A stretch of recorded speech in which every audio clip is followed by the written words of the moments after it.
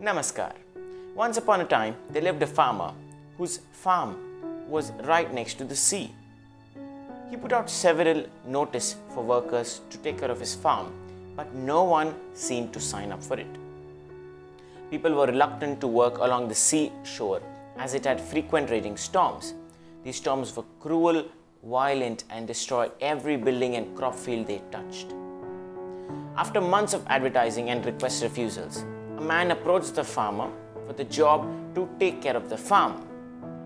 The farmer asked him, Do you have any skills or experience to work on a farm like this? Well, I may not have enough experience, but I can sleep when the strong winds blow, replied the man.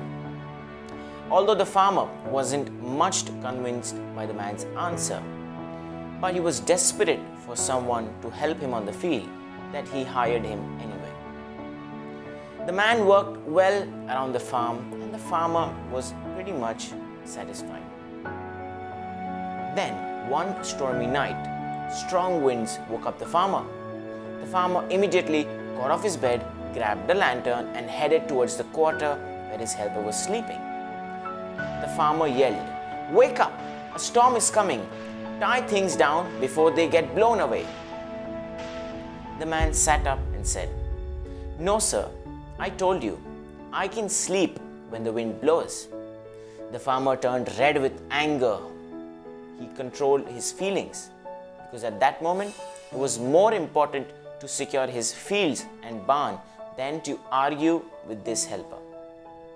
The farmer ran out to tie out the things and was surprised by what he saw.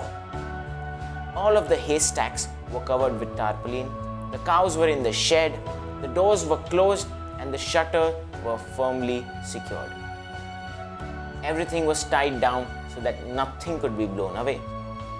The farmer smiled as he understood the meaning of the helper's words that he could sleep when strong wind blows.